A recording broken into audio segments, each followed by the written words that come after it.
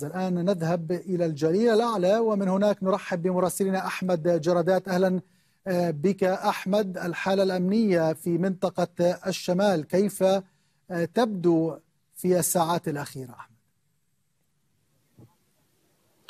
نعم هناك حشد عسكري إسرائيلي في هذه المنطقة منذ اليوم الأول للحرب الإسرائيلية على قطاع غزة فقد تم الدفع بالمزيد من قوات الاحتياط منذ فجر الأحد إلى هذه المناطق المحاذية للحدود مع لبنان وأيضا الحدود مع سوريا. وهناك حالة التأهب تنعكس أيضا على الإنذارات الخاطئة التي يتم تشخيصها بين الحين والآخر من قبل الجبهة الداخلية الإسرائيلية والاعتقاد بوجود طائرات مسيرة تسللت من جنوب لبنان ولكن حتى هذه اللحظة لم تتسلل أي طائرة ولم تحاول أي طائرة مسيرة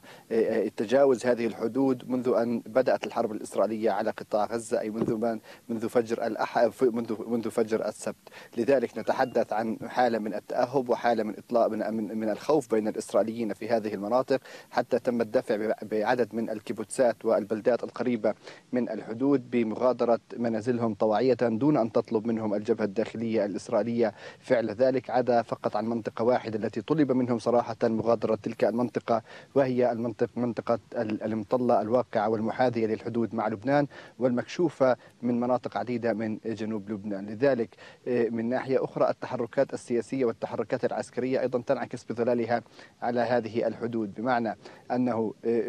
ينظر إلى زيارة الويد أوستن أنها ليس فقط ليست فقط لدعم إسرائيل في الحرب الإسرائيلية على قطاع غزة بل أيضا لردع حزب الله وردع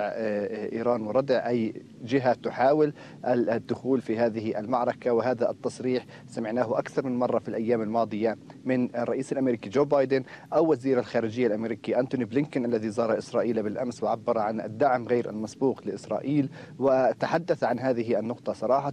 وينظر إلى زيارة أوستن في هذا التوقيت أيضا بعد يوم واحد من زيارة وزارة وزير الخارجية والاجتماع بالمسؤولين الإسرائيليين في وزارة الأمن الإسرائيلية. ينظر إلى أن التنسيق بالفعل هو عالي المستوى بين الجانبين بدءا من الدفع بحامل الطائرات إلى البحر المتوسط. الحديث عن جسر جوي لنقل الأسلحة وصول شحنة أسلحة قبل أيام إلى إسرائيل والتزويد الولايات المتحدة الأمريكية مخازن القبة الحديدية بمزيد من الصواريخ بمعنى أنه في هذه المرحلة يتم تزويد إسرائيل ليس فقط بأسلحة دفاعية مثل القبة الحديدية أو صواريخ البترت ولكن أيضا يتم تزويد إسرائيل بالصواريخ الهجومية